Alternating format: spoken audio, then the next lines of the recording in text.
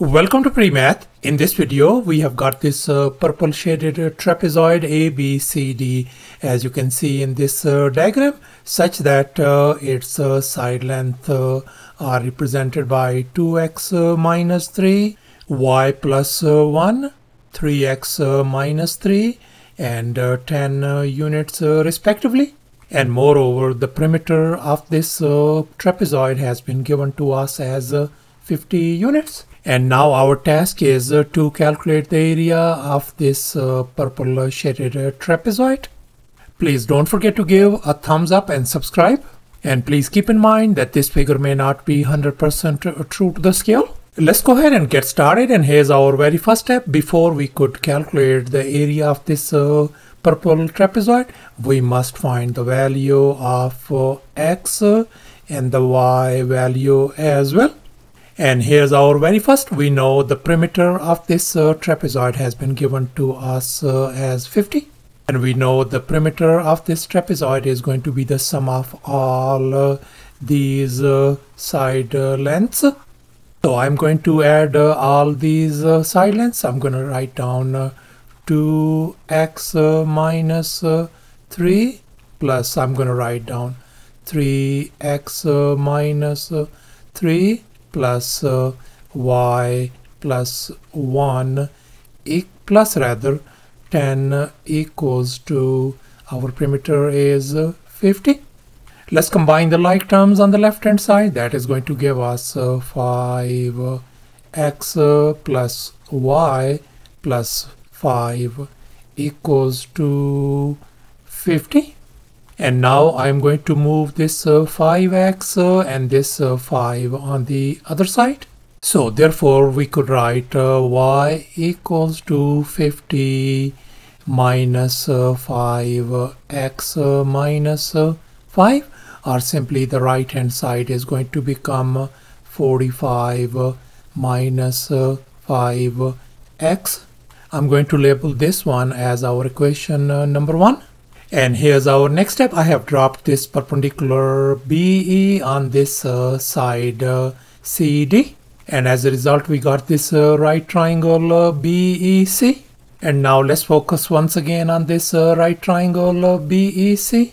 We know that this whole side length CD is 3x minus 3 and this side length AB is 2x minus 3 so this uh, side uh, EC is going to be this length uh, minus uh, this. If we subtract, uh, we are going to get simply x. So therefore our this segment EC turns out to be x. And we know that this uh, side length BE is equal to this side length AD. If this side length is y plus 1, then this side length is going to be y plus 1 as well. And now we are going to use the Pythagorean theorem on this uh, triangle. And here's our Pythagorean theorem, a square plus b square equal to c square. In our case, our hypotenuse is 10 and our other two legs are y plus 1 and x. Let's go ahead and fill in the blanks in this uh, Pythagorean formula. So we got uh, x square plus uh, y plus uh, 1 whole square equals to 10 square. And now let's recall this uh, famous identity a plus b whole square could be written as a square plus 2ab plus b square. We are going to apply it on this uh, binomial. So therefore we can write uh, x square plus uh, y square plus 2y uh, plus 1 equals to 100 and now we are going to subtract 100 from both sides. This is uh, gone. So therefore we are ended up with uh, x square plus uh, y square plus, uh, 2 times y minus, uh, 99 equals to 0 and now let's focus on this uh, equation one. We know our y value is 45 minus 5x and we are going to substitute uh, that y value over here. As you can see in this uh, next step I have substituted these uh, y values uh, over here. And now let's recall another famous identity a minus b whole square could be written as a square minus 2ab plus b square. We are going to apply it on this uh, binomial. So therefore we are going to have uh, x square plus uh, 20, 25 minus uh, 450 times uh, x uh, plus 25 x square and then minus plus rather when we distribute this one that is going to give us 90 minus, uh, 10x uh, minus 99 is going to be equal to 0 and now let's combine the like terms we are going to get uh, and I'm going to divide uh, by 2 across the board uh, to make our job uh, simple so once we divide by 2 that is going to give us 13 x square minus 200 30 times x uh, plus uh, 1008 uh, equals to 0. So thus we are ended up with this uh, quadratic equation 13x square minus 230x plus 1008 equal to 0 and we are going to solve this quadratic equation by grouping uh, and factoring and you may use the quadratic formula to solve this quadratic equation as well. And now let's focus on these uh, two constants on both end 13 and 1008. Let me just write down 13 times uh, 1008 uh, over here.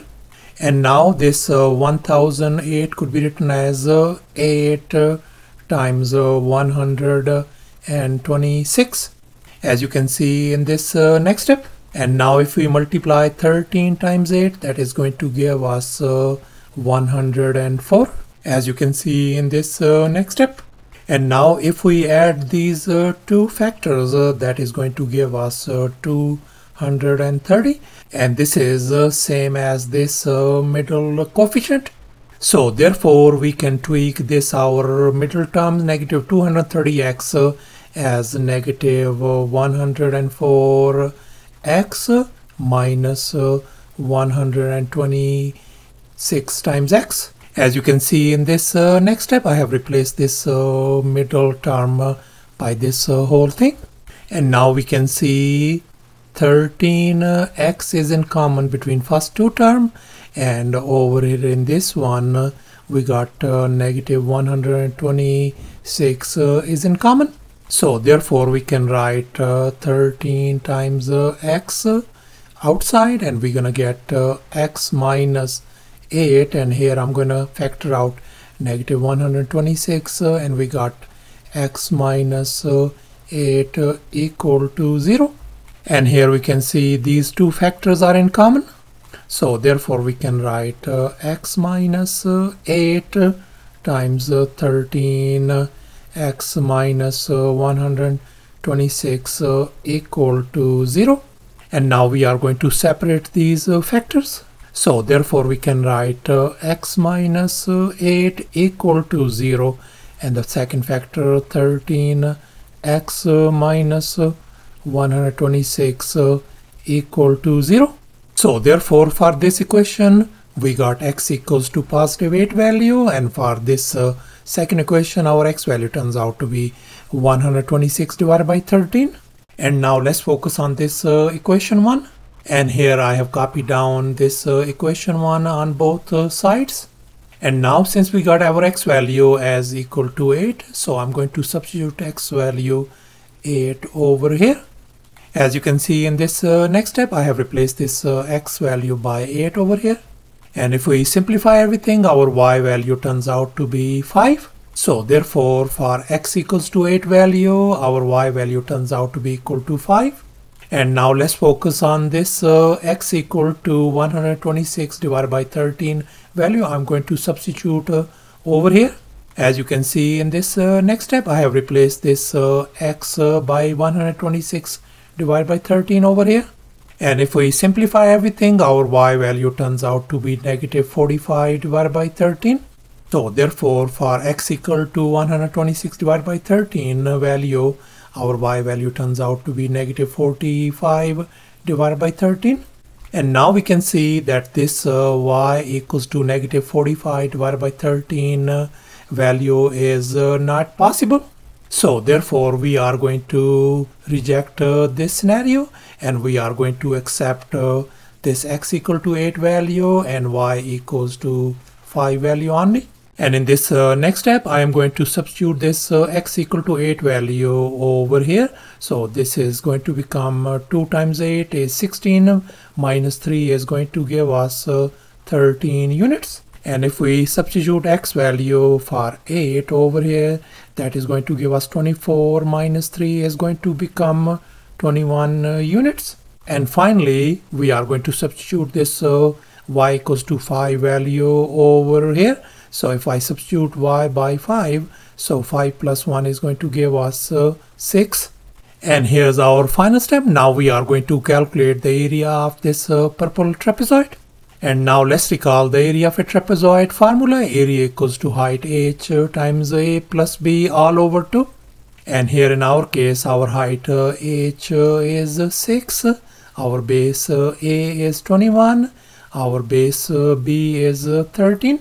So let's go ahead and fill in the blanks in this uh, formula. So we got uh, 6 uh, divided by 2 times uh, 21 uh, plus, uh, 13. And in this next step, 6 divided by 2 is going to give us 3 and 21 plus 13 is going to give us 34. And if we multiply this thing, that is going to give us 102 square units. So thus the area of this uh, purple shaded trapezoid turns out to be 102 square units. Thanks for watching and please don't forget to subscribe to my channel for more exciting videos. Bye.